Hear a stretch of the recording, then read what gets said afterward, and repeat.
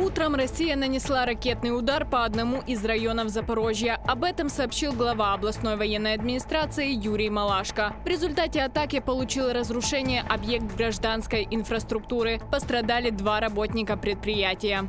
Это был сильный удар, э, ну, волна такая сильная, крыша металлическая, здесь шифером, а у меня он красным, он, этот самый, там металл гофрированный. Вот так вот все, прям вот такого сильного удара. Балконы, двери, стекла повылетали.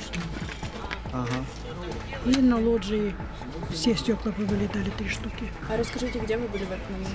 Ой, лежала в телефоне, игралась. Как стрельнул, все забыла.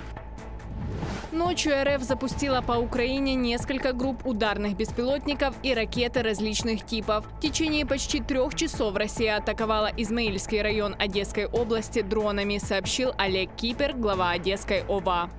К сожалению, один человек погиб. Сотрудник агропредприятия, который получил тяжелое ранение, умер в больнице. Повреждены объекты припортовой и сельскохозяйственной инфраструктуры, элеваторы, административное здание агропредприятия. Олег Кипер, глава Одесской областной военной администрации, в Телеграм.